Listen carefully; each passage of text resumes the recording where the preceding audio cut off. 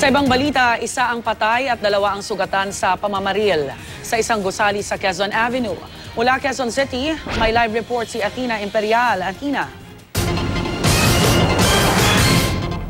Yes, Rhea, tama ka. No? Isang gwardya nga ang patay habang isa naman ang sugatan sa nangyaring shooting incident dito sa kahabaan ng Quezon Avenue sa Quezon City pasado alas 4 kaninang umaga. Ayon sa testigo mula sa barangay na tumangging humarap sa kamera, may isang lalaking Chinese ang dumating dito sa lugar sakay ng kotse. Halos kasabay niya ang isang sasakyan kung saan bumaba naman ang dalawang lalaki.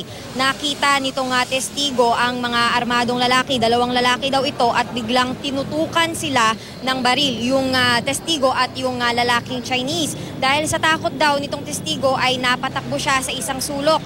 Inagawan daw ng bag itong Chinese. Tumakbo naman ng Chinese dito sa entrance nitong ah, e-games house habang ah, tinutukan tinututukan nga siya ng baril nitong ah, isa sa mga suspect ano at habang papasok siya dito sa e-games house ay ah, hindi naman daw siya pinapasok agad ng gwardiya kaya naman yung gwardiya yung ah, sinasabi nitong ah, testigo na nabaril daw nitong mga suspect. Hindi nakita nitong ah, testigo yung pagbaril pero narinig daw niya yung dalawang magkasunod na putok ng baril. Ano? At pagkatapos daw nito ay may nakita siyang sasakyan na umalis na dito sa lugar. Hindi sigurado nung testigo kung yung ah, sasakyan nitong lalaking Chinese na biktima ang ah, dinala nitong dalawang suspect. Pero sigurado daw siya na may sasakyan yung dalawang suspect na umalis dito. Sa kasalukuyan, Rhea, ay iniimbestigahan na ng scene of the crime operatives kasama naman po ng ah, Quezon City Police District itong area. No? May mga nakikita po silang mga 9mm na basyo ng ah,